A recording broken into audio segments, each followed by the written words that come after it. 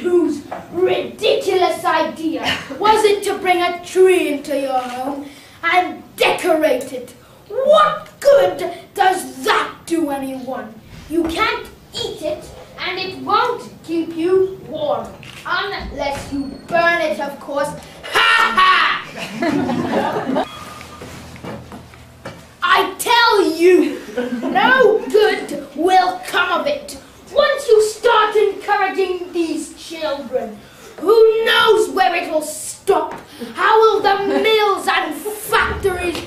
A profit without the boys to clean the machines? What about our coal mines? For a few pence a day, you can get a small boy to work 12 hours in those little tunnels. You could never get a man as cheap. And how would you get your chimney cleaned without a climbing boy? Why, many a five-year-old gets a roof over his head and a crust in his mouth working for a chimney sweep. They should be grateful. change? There's only one good kind of change. And that's the kind that rattles in your pocket.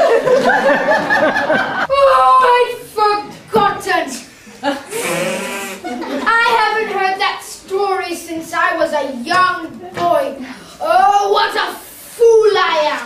I've just been too interested in my business and making money that I've forgotten what it's for. Here, Dr. Barnardo, have a shilling for your home. In fact, have a pound.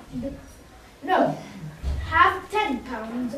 I'm off to buy a goose and invite all my neighbors to share it. Come on, everyone, join my celebration and have a Merry Christmas. One of you, I...